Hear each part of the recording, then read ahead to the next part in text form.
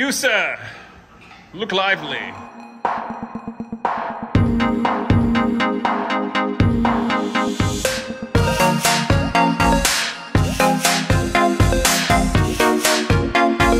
We are, in fact, going to take the engine out of the Daytona Prototype Unicorn. Actually, I'm pointing at Sean. That's kind of awkward. But here it is. The car is all stripped down and looking good. It's got a Sean, keep looking awkward.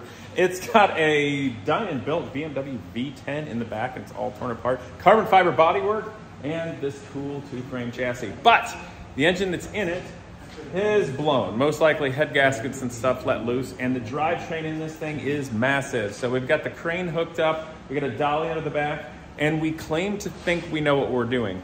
Mostly we just guessed the whole way that it was intelligent. Sean decided this would never fly in his line of work. There would be somebody with a pen and a desk that would go, that's not how it's supposed to work. That Mendel is bending. Yeah. I disagree. You'd have to do five months of analysis. We did like five days of analysis. Yeah. I think I think we'll be fine. Hopefully. We sort of looked at it. The dog approves. This this this dog's named Maserati. Look, this is Maserati. Oh, you're being nice on camera. Hello. Do you know I drive a Lamborghini and it's cooler than a Maserati? yes. No. You sir, look lively. yeah, I could help, but I have to be the camera person, which makes means it's gonna be way more dramatic. You guys are nervous now, aren't you? Sean the sheep, you can be the safety person and tell them when things look like they're going badly. Andres will be the muscle. What's Brandon going to do? So you're going to keep expensive and dangerous things from happening. You're going to keep things from getting broken. And I'm gonna go ape crazy. Ooh, ape crazy. You can say ape shit. I can bleep it. Oh yeah, I just don't swear much. You, you don't swear much? No, only when it's appropriate. We're in a shop. I don't feel like swearing. Fair enough. Things are going too well. Okay, have at it, men.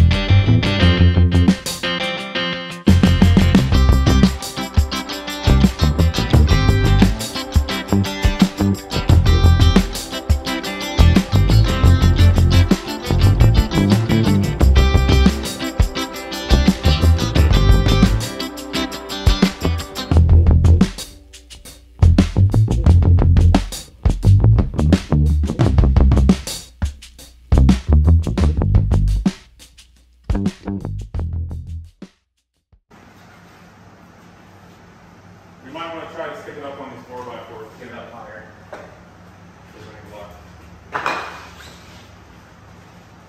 Notice I'm being careful how much I put my hands in there. we'll use this in the back more. You see what I'm saying? Let's get the engine down where it's a little safer first. Does that make sense? Congress, make sense? Draw down, be safer. Here we go.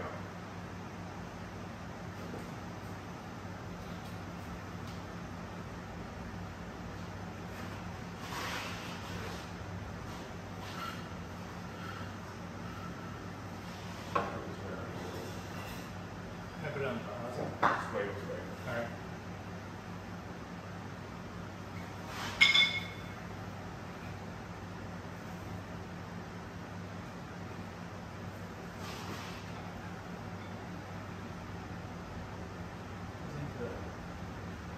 I know it's gonna hit.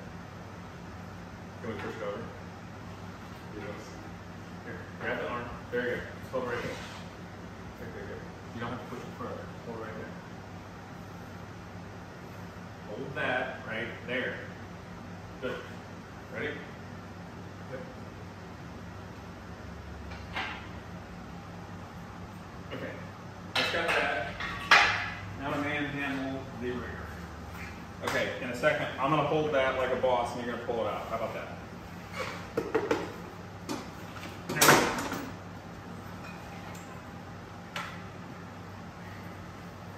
Um, can you pull that two by four out? I don't understand why that's there. Pull it.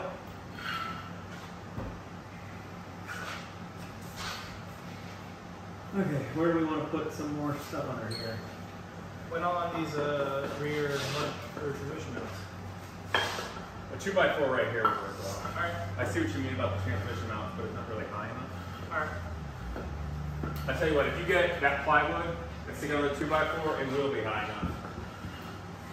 Okay, so I'm gonna stick this, put that down. Here's what we're gonna do.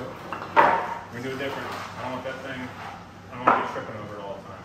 Okay. So you're gonna put that underneath both mounts. Does that make sense? Yep. Okay, I'll let you. Ready?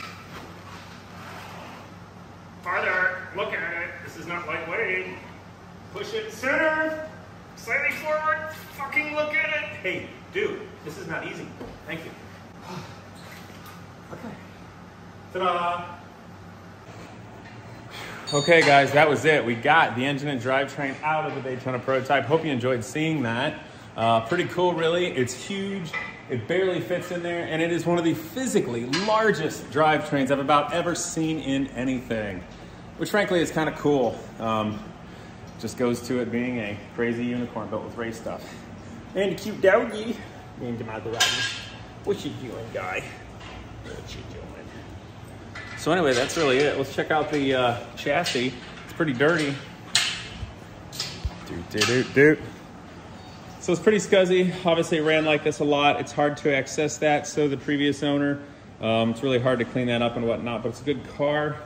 Everything's in place, and we'll come back more when we're uh, going over all the systems and assessing it. But basically, getting it ready with the new motor over in the crate next time. So hope you enjoyed seeing everybody. Even Brandon, the new guy. We could call him FNG. Anyway, that's all I got. Hope you guys subscribe. This is Genius Garage and one of the Genius Garage projects, the Riley Mark 22 with the Dinan V10. See you guys next time.